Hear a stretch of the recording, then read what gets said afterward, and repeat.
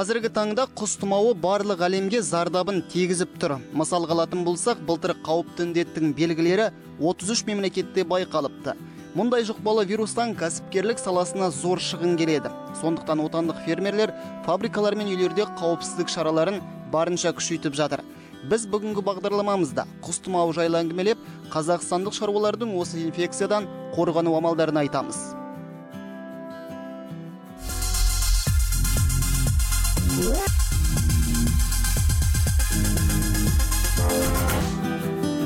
Соңғы жарты жыл ішінде қазақстан мен шекаралас елдердің аумағында жануарлардың құс тұмауына шалдығу фактісі анықталды. Мәселен мұндай жағдай өткен күзде қытайда тіркелді. Зерттеу кезінде індеттің жаңа түрі жабайы және үй үйректерінен тарағандығы дәлелденді. Бұл кезеңде ресейде де осыған ұқсас оқиға орын алды. Нақтырақ айтатын болсақ былтыр солтүстіктегі көршілеріміз бүкіләлемдік жануарлардың денсаулығын қорғау ұйымына үй тұмсықтыларына жоғары патогенді құс тұмауының 81 мәрте тарағандығын хабарлады. Қауіпті вирус ұшып бара жатқан қанаттылардан келіпті. Ал қазақстанда әзірге ауру белгілері байқалмаған. По птичьему гриппу э, Казахстан на сегодня благополучно елімізде құс тұмауы бойынша жағдай тұрақты. бұл әрине біздерді қуантады. дегенмен босаңсуға еш себеп жоқ. өйткені ресейдегі 45 фабрикадан вирус табылып жұмысын тоқтатты. Тағы сонша көлемдегі елді мекен жабылды. Оған қоса 75-тен аса селода инфекция белгілері табылуы мүмкін деген күдік бар. Қауіпті індет бізге де жақындаған кездер болды. Мәселен ресейдің қазақстанмен шекаралас. самара облысында екі бірдей құс тұмауы фактісі тіркелгені мәлім. 2018 жылы бүкіл әлемдік жануарлардың денсаулығын қорғау ұйымына 33 елден хабар түсіпті. Олар жоғары патогенді құс тұмауының 325 рет таралғандығын мәлімдеген. Бұл мемлекеттердің жартысында індет әрі кетсе 5 мәрте байқалған екен. Ал ең көп вирус тайваньда тіркелді. Онда мамандар жүзден астам ауру белгілерін анықтаған. Тағы 20-дан аса оқиға сауд арабиясында орын алды. Қауіптілігі төмен тұмау болса алты елге зардабын тигізді. Онда инфекцияның 40 проценттен астамы франциядан табылған.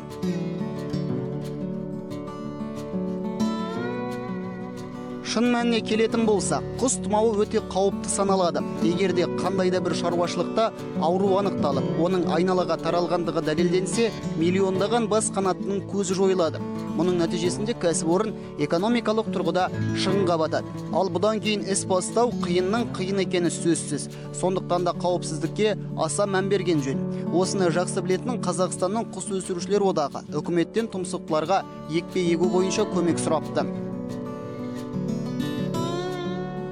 Мы э, вышли э, с предложением Министерства сельского хозяйства біз еліміздің үкіметі мен ауыл шаруашылығы министрлігіне жедел арада құс тұмауымен күресті бастау қажеттігі жайлы ұсыныс тастадық.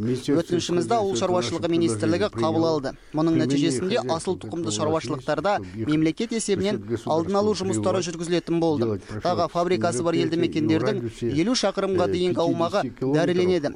Бұдан бөлек өндірістік кәсіпорындардың басшыларына үндеу жасадық оларда белсенділік танытып қанаттыларды мемлекет қаражатына вакциналауға шақырдық.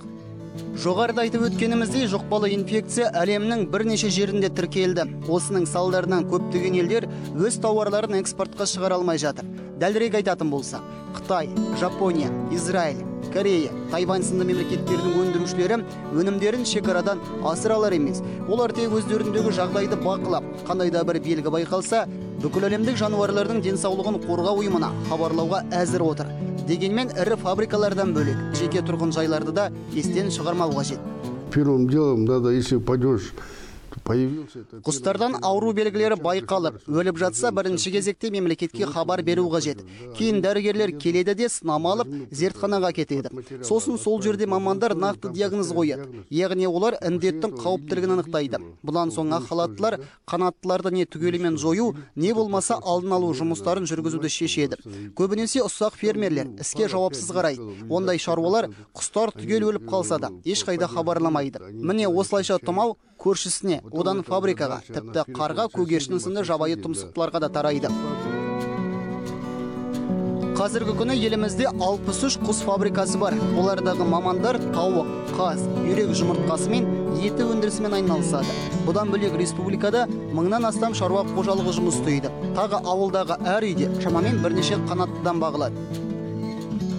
Мы, как птицефабрики, все защищены как біз қауіпсіздікті басты назарда ұстаймыз құстарға вакцина саламыз. оған қоса фабрикада қызмет ететін адамдарға да тұмауға қарсы екпегеміз бұл біздің бірінші міндетіміз болып табылады. Одан бөлек эпизотологияға аса мән береміз. Яғни қанаттылардың басқа кәсіпорындағы тұмсықтылармен байланыспағанын қадағалаймыз. ал өзімізге сырттан құс әкелетін болсақ оны тәуліктік жаста сатып аламыз. ол мұнда вакциналанған түрде жеткізіледі. бірақ біз балапанға қосымша ньюкасл гамбар сынды індеттерге қарсы 10 түрлі екпе саламыз. Негізі отандық кәсіпкерлер құстардың денсаулықтарына мұқият қарайды. Нақтырақ айтатын болсақ олар қанаттылардың қанын зерттейді жем азықтарын тексереді. Осының нәтижесінде еліміздің бірде бір өндіріс ошағында әлі күнге дейін құс тұмауының белгілері байқалмапты. Наша птицефабрика – это одна из старейших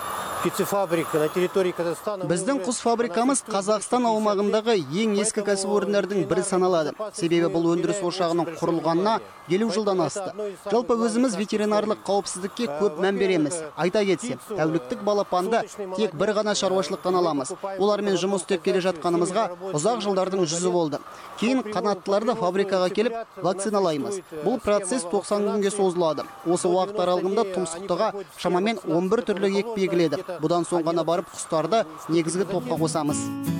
Бүгінде еліміздің көптеген құс фабрикалары мынандай қызық талап бойынша жұмыс істейді. Олар үйінде қанат ұстайтын жандарды жұмысқа алмайды себебі ондай тұрғындар кәсіпорынға сырттан инфекция келіп іштегі тұмсықтыларға жұқтыруы мүмкін.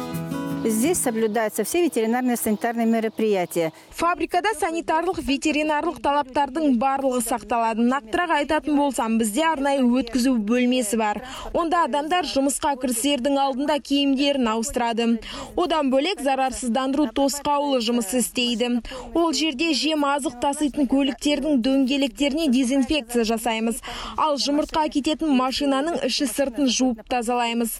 Тағы синантропты құстармен күрес жүргіземіз жаңадан нысан пайдалануға берілсе оны түгел зарарсыздандырамыз. Кейін ол жерге қанаттылар тексеріліп кіргізіледі. Құстардың қиы да арнайы тәртіппен шығарылады. 2018 жылдың соңында еліміздегі құс саны 45,2 миллионды құрады. Бұдан қазақстандағы қанаттылардың қатары артқандығын ұғынамыз.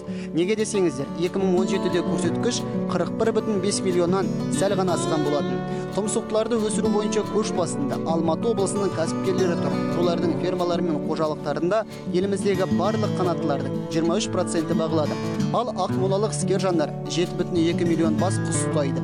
Үздік үштікті солтүстік қазақстандық мамандар тұйықтап тұр теріскейдегі шаруаларда 5 миллионнан аса тұмсықты бар.